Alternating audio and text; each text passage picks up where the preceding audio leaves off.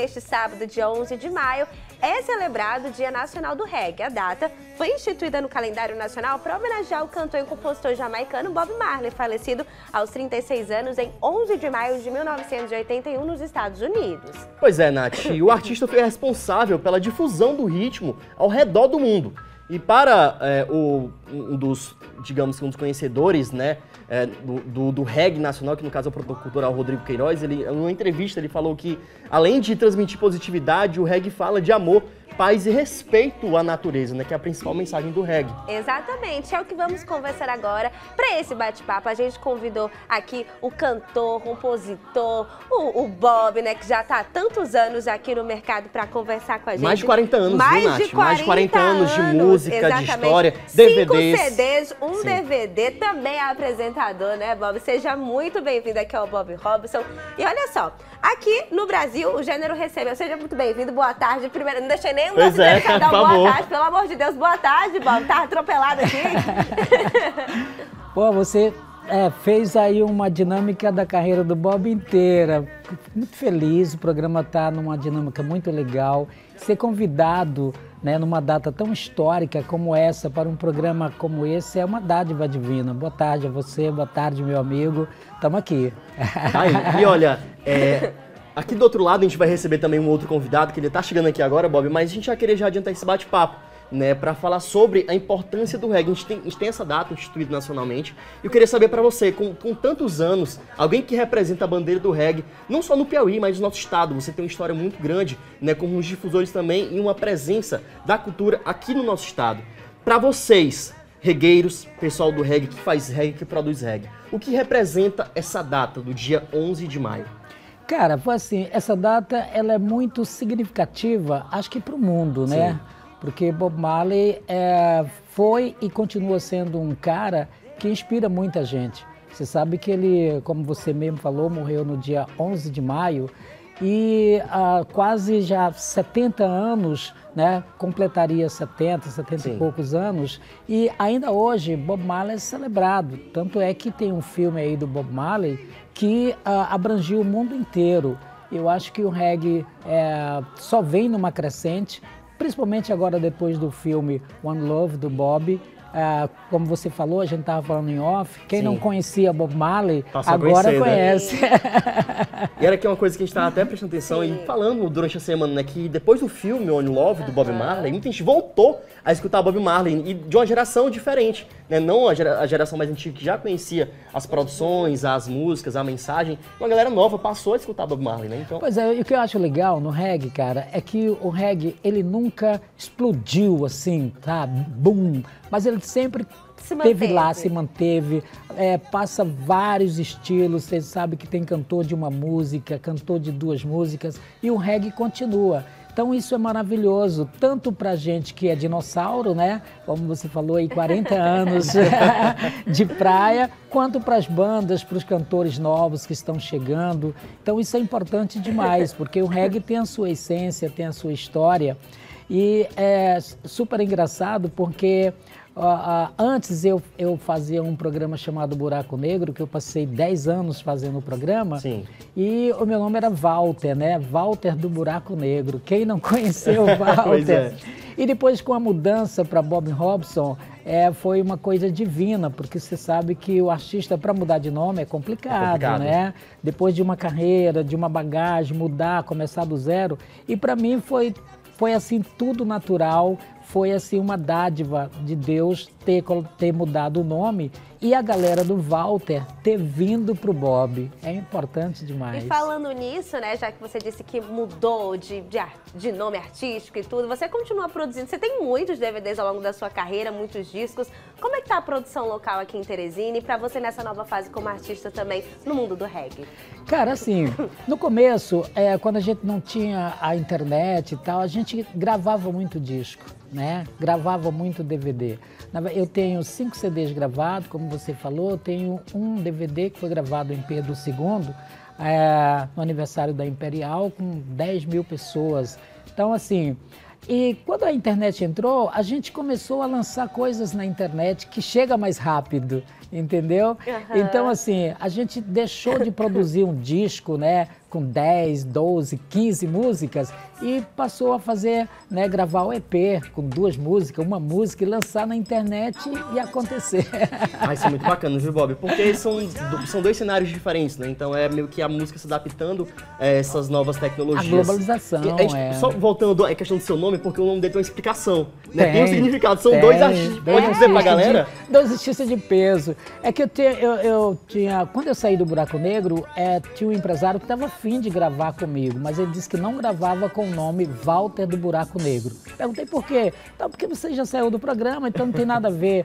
Então você tem que procurar um nome pra gente gravar. Aí eu, pô, mas tirar Walter, cara, é, tirou a essência do Já artista. Era o nome, né? Era um nome pesado, muito forte e tal. Mas como eu sou fã do, do, do Bob Marley, aí a gente a, a, adaptou o primeiro nome de Bob. Aí, mas tem que vir um nome forte para casar com Bob. E a gente procurou e tal. E aí eu me lembrei do Robson Caetano, que é atleta, sabe? É olímpico, campeão. E aí a gente fez a junção, né? Do Bob com o, o Robson. Ficou Bob Marley Aí. e Robson Caetano. A gente tirou o Bob do Marley e colocamos o, o Robson do Caetano. Aí ficou Bob Robson. Dois campeões e deu certo. Muito bacana. E Bob, um, uma outra coisa que a gente fala de reggae é a questão do preconceito. O estigma que tem quando a pessoa fala de música reggae, que se atrela logo a algo ruim né? Sendo que a mensagem é totalmente o contrário. Né? Isso tem muito disso ainda nos dias atuais, né? A questão do preconceito, do estigma, de um olhar mais negativo para a produção dos regueiros aqui é, locais e também nacionalmente. Como é que vocês avaliam essa questão? Cara, é assim, é, o, o, preconceito ele sempre vai existir em várias vertentes é, da sociedade. No reggae não é diferente. Sim. Eu atribuo muito o preconceito, né, a, porque o, o reggae vem do gueto, vem da favela, e na favela tem sempre os negros, os mais Sim. oprimidos e tal. Então, quando as coisas são ruins, os caras colocam logo, não, foi o cara da favela, foi o preto, foi o cara que não tem muita cultura. Então, eu atribuo muito a esse preconceito é, de onde a gente vem, né, do gueto, da favela, da opressão. E, uh, mas como você falou, é, as pessoas que, que é, atribuem a isso é pessoas que não têm ainda o conhecimento do, do Alfa Blonde, Jerusalém, né? Não tem uhum. o conhecimento do Edson Gomes, que é um cara que só Pronto. fala da realidade, entendeu? E nesse contexto, era até uma coisa que eu tava falando, a gente tá de fundo aqui escutando muito Bob, todo mundo tem muito Bob como referência, mas o mundo não é, o mundo do reggae não é só o Bob, né? Tem muita gente ali atrás. Eu queria saber um pouquinho. Oh, oh, o Nildo Viana chegou aqui, viu? pode sentar, Nildo. Pode sentar, Nildo. Fica à vontade. Deu Seja bem-vindo ao nosso outro entrevistado. Pessoal, a gente tá recebendo aqui o Nildo Viana, ele que é também produtor, é músico músico, produtor cultural, é vocalista também da Alma Roots, também com outra banda também que local, bastante conhecida, e produz também, estava conversando aqui, Sim. Nildo, sobre a questão da cena local, dos estigmas, né, o, o, quanto o reggae ainda é visto por esses olhos no qual que o Bob trouxe aqui pra gente. A gente queria já perguntar para você, aproveitando que você está aqui, como é que tá a cena local e como vocês lidam ainda com essa, com essa visão de uma sociedade né, que olha o reggae hoje com esse lado ainda negativo, né? Sendo que a mensagem é totalmente o contrário. Cara, eu, eu, eu, eu sou apaixonado né, pelo reggae piauiense, então eu sou meio suspeito. Eu acho, inclusive, que Teresina é uma das capitais do reggae no Brasil. Eu acho que a gente tem algumas coisas assim que são qualidades únicas que, é, pesquisando esse cenário nacional, que eu tenho o privilégio de, de, de fazer isso constantemente, eu acho peculiaridades aqui no cenário local muito incríveis, assim, tipo, Teresina é uma das pouquíssimas capitais em que praticamente todos os bairros de periferia a gente tem uma casa de reggae. Uma casa, um lugar Sim. específico para o DJ tocar, para ele fazer. Então tem umas peculiaridades muito grandes. Eu acho que esse, esse estereótipo da violência que vem caindo, é, diminuindo bastante assim nos últimos anos, ele ainda, ainda é resistência só por muita coisa sensacionalista. Porque é um, a gente está falando de uma cultura que, que tem uma ligação muito grande com, com o afro, com o negro. E, e, tudo aquilo que vem desse universo, ele precisa de muito tempo para enfrentar o social, para conseguir se colocar na sociedade. Eu acho que esse estigma é carregado por isso, ainda tem isso, ainda existe esse, esse medo do reggae. Mas o reggae tá em todo canto, mano. Da zona leste à zona sul, da zona sudeste. Quem não gosta de roots gosta de pop. Sim. Quem não gosta de pop gosta de funk reggae. Quem não gosta de funk reggae gosta de rap reggae. Reggae tá em todo canto. Eu acho que uma maneira de justamente promover é, é, é, essa ideia do reggae são os eventos, né, que a gente vê acontecendo, como o circuito do reggae que você anunciou, inclusive, essa semana recentemente, que o, o circuito do reggae local tá se encerrando, mas por uma coisa bem maior, né, Nildo? Nossa, gente, quase mata o povo do coração. pois é. gente, pois é. quando a gente ah. viu, ficamos, como assim? Porque é um dos maiores eventos Sim, aqui. Já né? do, do, calendário local, É Nath. do calendário é. local. O pessoal espera o ano inteiro a por gente, isso, né, Nildo? A gente, assim, pensou muito sobre a mudança, né? sobre como, de que forma até anunciar isso, porque o nome Circuito Piauiense de Reggae, ele carregou um, um momento muito importante no reggae local. Bob, Bob sabe bem disso. A gente teve um tempo aqui, assim que eu, que eu retornei para Teresina, para o Piauí, tempo que eu estava morando em São Luís, a gente estava num, num, momento muito difícil para o reggae, né, Bob? É Naquele é período daquele, do início do festival. E o festival ele, ele contribuiu, não, não, não é único nisso, porque Sim. cada um tem uma parcela de contribuição com isso. Mas eu acho que ele foi um, um algo impulsionador assim. São quantos pra... anos já? A gente completa 10 esse ano. Nossa. E o sonho era exatamente esse, na décima edição poder tentar fazer alguma coisa maior. E já começa maior nesse sentido da gente é, não tirar o orgulho do nome piauiense do nome, não tem nada a ver com sim, isso, porque sim. isso, pelo contrário, a gente tem um orgulho muito grande disso. Mas na verdade é levar o Estado para que esse mercado nacional possa. Rota nacional. Exatamente, possa assimilar mais ainda isso. Porque a gente já. A gente já é Word há muito tempo, né? A gente, na última edição a gente teve Cedric Milton, a gente já teve Tristan Palma, a gente sempre tem alguém internacional também Sim. junto, além dos nacionais, Sim. além da música internacional do Piauí que está lá presente direto. Mas a gente está feliz, porque vem coisa muito louca aí, gente. Agora é um evento nacional, né? Posso dizer muito não. Ah, vai, eu pedi spoiler aqui. Eu tô esperando essas perguntas. Eu tô esperando perguntas capciosas. É. Mas vem coisa boa. A gente tem reunião agora essa semana aí com um rapaz aí, amigo nosso aí, que vem de Fortaleza para cá, pra gente poder alinhar aí algumas questões aí do que, que a gente vai fazer aí para fora.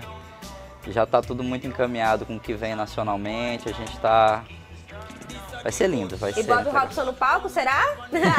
tem, um, tem uma surpresa aí, tem uma surpresa aí que tem a gente uma tá... surpresa. Como é que estão os trabalhos, Bob, atualmente? Como é que tá a sua agenda de show, tá os seus trabalhos? Tá bem, graças a Deus. A gente, como o Nildo falou, a Teresina se tornou é, um cenário né, do reggae, tanto para as bandas que estão começando, para os cantores, para as cantoras, como para as bandas que já vêm na estrada há algum tempo, né?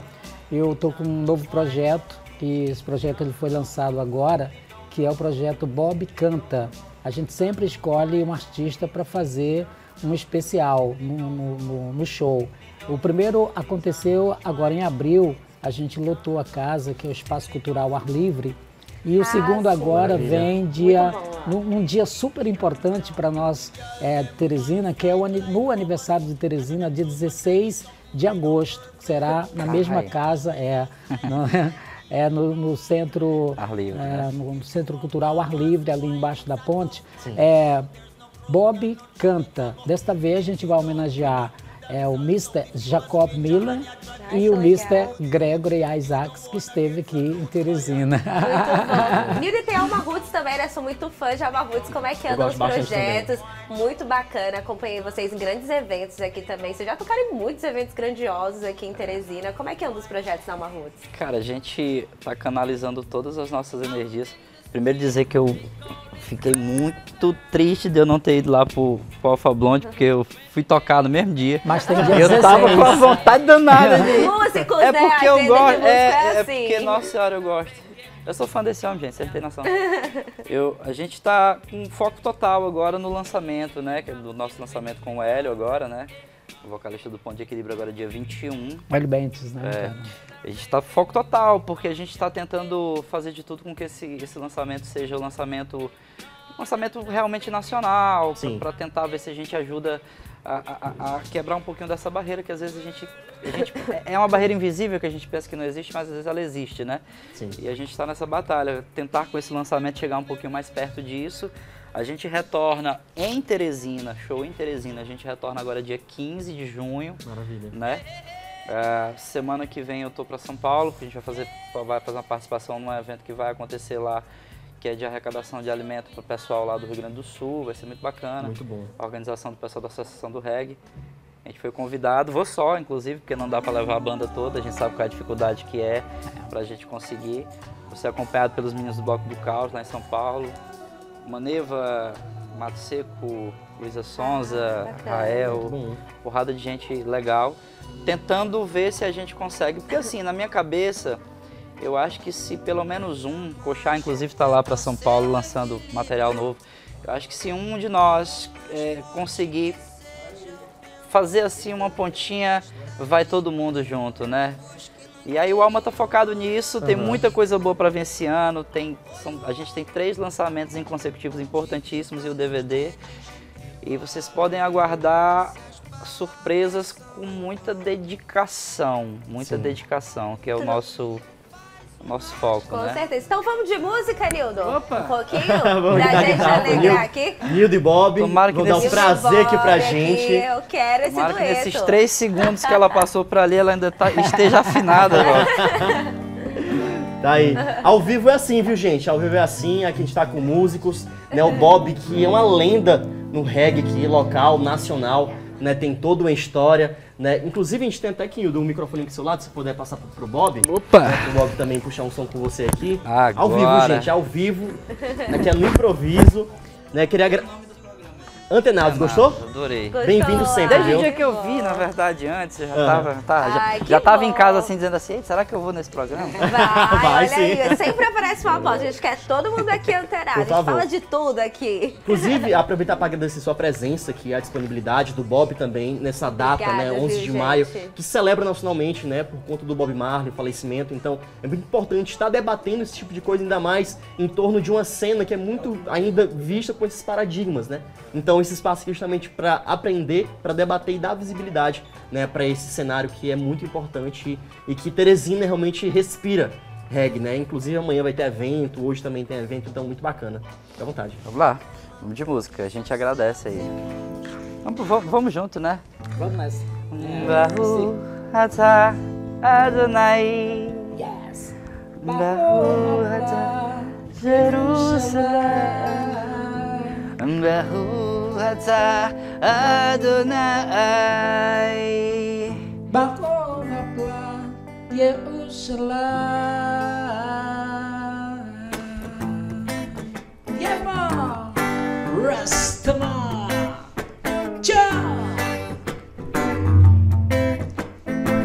I need you, I need you, Jesus Christ. Oh, ooh, ooh, Finding by them to be club and let's song together. Salam, salam. Salam alaikum. You can treat with strength and set our streets. Live it together and treats man. Live it rush when dress, rush, rush, rush, Bajo atas, atas naik. Yeah, man.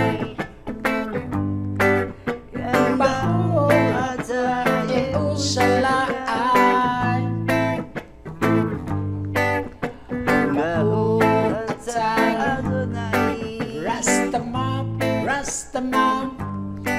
And uh, Jerusalem. Jerusalem. Jerusalem. You I. Jerusalem.